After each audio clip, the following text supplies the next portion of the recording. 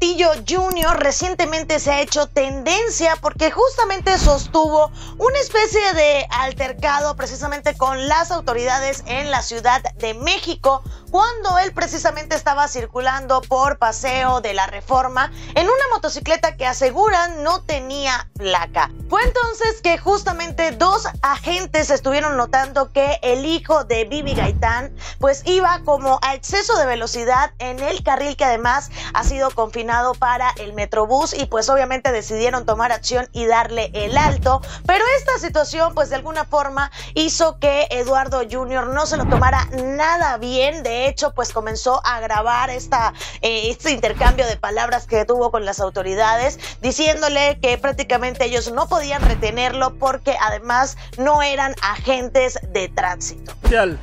Usted no es tránsito, usted aquí no me puede tener. Tampoco puede circular por este carril, mira. Incluso el hijo del actor Eduardo Capetillo también estuvo actuando de una manera muy inquieta, estaba pues de algún lado caminando para el otro, no dejaba de hablar con las autoridades, mientras además estuvo destacando que las autoridades estaban queriendo además hurtarle su motocicleta. No, no, no, por favor no toquen moto. Me están asaltando aquí, es, esto, ustedes no pueden hacer esto. Lo que se conoce entonces hasta el momento es que este joven presuntamente viajaba en su motocicleta, obviamente a exceso de velocidad y pues acto seguido las autoridades, los elementos de autoridad decidieron pues dictarle el alto, le ordenaron pararse, sin embargo este parece que se negó y siguió adelante pues intentando de alguna forma escapar a las autoridades. Pero usted no me puede parar.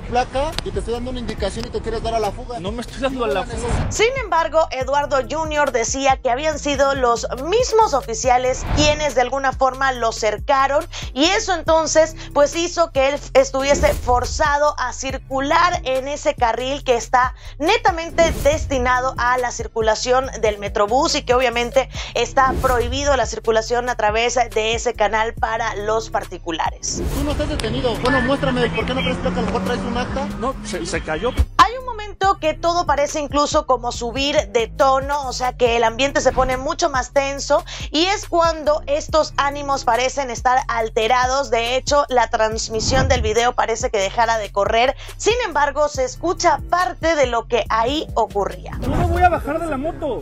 Ustedes no me pueden detener aquí. ¿Me pueden ayudar, por favor? Por lo que se conoce hasta el momento, ninguno de los miembros de la familia Capetillo Gaitán ha decidido pues hacer ningún tipo de declaración al respecto ante esta situación. Así que pues obviamente se espera que muy pronto alguien decida dar la cara, haga algún tipo de anuncio oficial de cómo va este tema y también que hable sobre el estatus a nivel de, de las autoridades que puede tener el hijo de esta pareja de actores. Es que no les voy a dar dinero, lo que ellos quieren es dinero. Entonces, ¿qué quieren que hable? Si ustedes no me pueden detener, por favor. Déjenme sus comentarios y por supuesto no duden en suscribirse a nuestro canal porque esto es Famous Close Up.